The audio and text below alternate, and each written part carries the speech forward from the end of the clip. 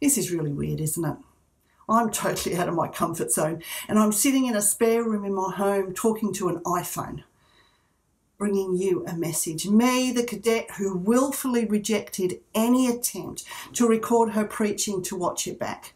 I just totally refused. Now that doesn't really sound like me, does it? But this is weird, right? You're in your home and I'm in mine. Things are not as they were, not what we thought, not what we want, not what we had hoped for. Coronavirus has rocked our world quite literally. Nothing is the same, and it will be a while before we know what normal looks like again. However, I do have coffee, and that's a big relief. There's no skip here, Amanda. It's sitting on my bench. But something Amanda said a few weeks ago really touched me and sparked some thoughts about a message for after Easter.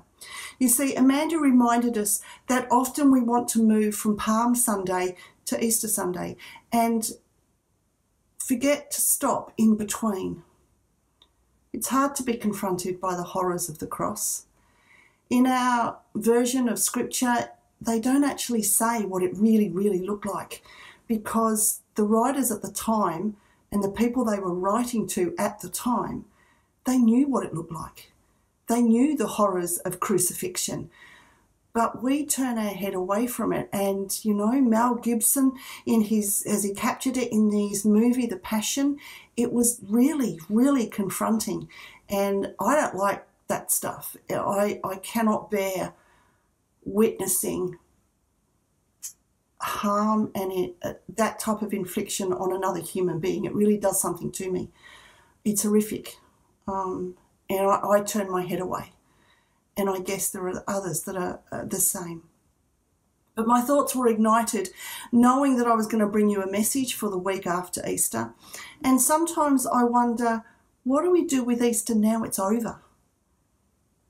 do we tend to forget it and just move on? Okay, we've celebrated Easter, let's sort of get back to what life is normally looking like. And I often have to ask myself, what has Easter done in me this year? Because Easter should change us every year. I wrote in my journal just the other day every day is an Easter day, for Jesus lives in my heart. I know it, I feel it, I experience it. But my question for us to contemplate this morning is Have you allowed Easter to change you in this topsy turvy COVID 19 world that we're living in? How have you changed? Life had completely and utterly changed for the disciples. These two we meet on the road to Emmaus were dejected, disappointed, lost. They were physically and emotionally exhausted. It had been a long and confusing week. And on this Sunday morning, they were going back to their dull, lifeless, too predictable lives. They'd lost all hope and were on their way back to their previous lives, miserable and without hope. Can you hear the sound of their footsteps on the stony ground? It, that too was a dejected sound because all hope was lost. So dejected were they that they didn't see or hear a man come alongside them and begin to walk with them. What's your problem? he asks. What? You mean you don't know? Where have you been? Living under a stone? In language literally for today, we might say, You don't know you're supposed to be living at home or staying at home? Emmaus is thought to have been approximately 13 kilometres from Jerusalem, so about a three hour walk. In the midst of disappointment, discouragement, and isolation, and unprecedented days, Jesus himself drew near, even though at this time they and we don't know it's Jesus. One disciple replies, We had hoped. Do you hear the past tense there? we had hoped. In other words, we've lost all hope. This man, who was a great prophet and teacher, was crucified. He's dead.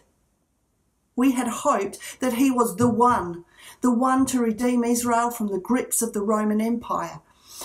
But even though some women had said the angels have said he's alive, no one's seen him. He's dead, gone.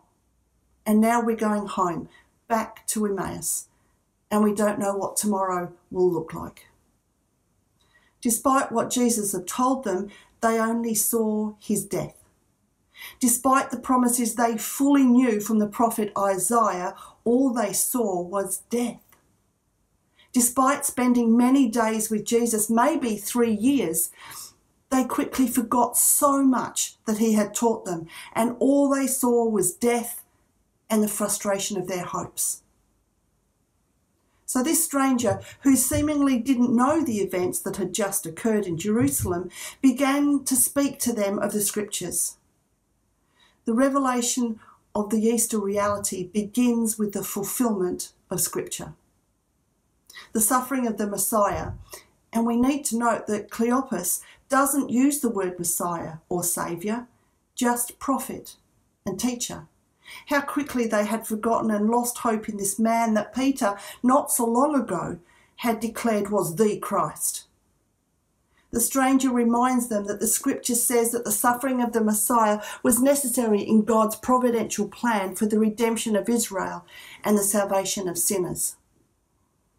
As they arrive in Emmaus, they invite this man to stay and eat with them. And as Jesus breaks the bread, their eyes are opened. What did they now see that they hadn't seen before? Did they remember the Last Supper? They mention that their hearts had burned within them as they heard Scripture being reiterated to them. As they were reminded of all Scripture taught, their hearts burned. They had been so wrapped up with the actual events of the last week that they didn't actually allow what they knew of Scripture to help them understand what was actually happening. And so, note to us there too to not let what we know of the Bible to keep us from understanding what Scripture really says.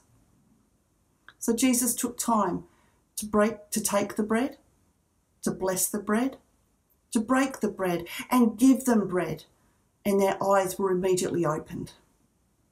And as I contemplated this, my thoughts went to the words of the potter's hand Take me, mould me, fill me, use me not dissimilar to what Jesus does here with the bread. And as we allow Jesus to break us, speak to us, bless us with his presence, and mould us to his character as he gives to us so many things, how much our eyes are opened to who he actually is. The more we allow Jesus to break and change and mould us, the more we know of Christ. And these two exhausted, disappointed, dejected, confused disciples took the bread offered them, and everything changed. Jesus vanished, and the disciples immediately run back to Jerusalem. You see, Jesus had all earlier taught them that he had come to bring fire to the earth. Go back to chapter 12, verses 49 to 50. And now they had that fire, the new step renewed energy and courage to return to the place where their hope had been destroyed. They knew they had to go and tell the other disciples. They knew they had to do something with what had happened to them. They knew then that what the women had said was actually true. Jesus was alive. Hope was not dead, it was very much alive and well and rejuvenated in these once tired, sorry disciples. Perhaps these guys on this road to Emmaus were slow of heart at the beginning, slow to believe, quick to give up hope, but honestly, aren't we sometimes the same? Frederick Buechner interprets Emmaus as the place we go in order to escape, and we all have our road to Emmaus. And maybe we feel we're on one right now. Nothing is the same. Our world has changed, and we are perhaps finding it hard to come to terms with, to understand this is not what it was supposed to look like. The risen Lord meets us on our road to Emmaus. In the ordinary places and experiences of our lives, and in the places to which we retreat when life is too much for us, in our homes of isolation, and for some of us, that means an extra level of loneliness. You see, this year has been like no other. The word unprecedented has been bandied around and used exclu- extensively over and over. But that first Easter was like no other. It too was unprecedented. It caused confusion and dejection and disappointment, and maybe for some of us, we are losing hope. When will it end? What will come after?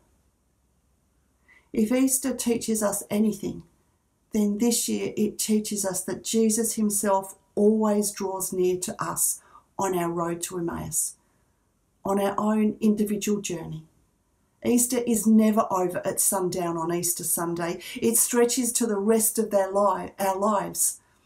The women couldn't perhaps call back the angels, and these two disciples might never meet that stranger on a road again, but no matter, life would never be the same again. And we're hearing that almost constantly, aren't we? Life will not be normal as we knew normal before COVID 19.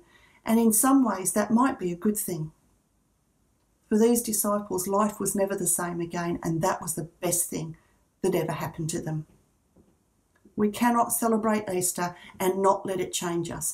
Every year, Easter ought to change us. And this year in particular, it has been an Easter like no other. If we do not allow Jesus to change us at Easter, then we make a mockery of what Easter is all about. I wonder what your journey is at the moment.